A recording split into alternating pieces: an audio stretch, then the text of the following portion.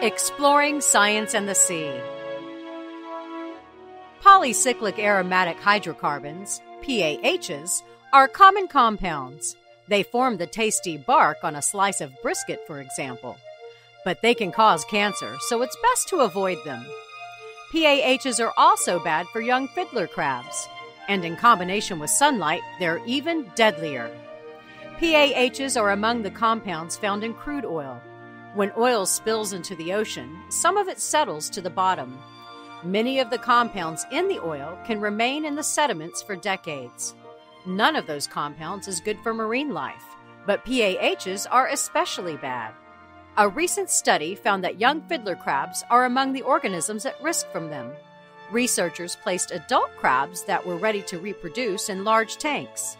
Sediments at the bottom of the tanks contained PAHs, at levels that might be seen years after an oil spill. Female crabs carry their eggs outside their bodies. So, as the crabs burrow, their eggs are exposed to any chemicals mixed with the sediments, including PAHs. When the eggs hatch, the larvae head for the surface, where they're exposed to sunlight. The ultraviolet rays in the sunlight can react with the PAHs, killing crabs with levels of the compounds that normally wouldn't hurt them. Adult crabs didn't seem to be harmed by the combination of low level PAHs and sunlight, and neither were larvae that weren't exposed to the light. But most of the larvae that did see strong daylight died, victims of a toxic combination. For the University of Texas Marine Science Institute, I'm Holly Brawley.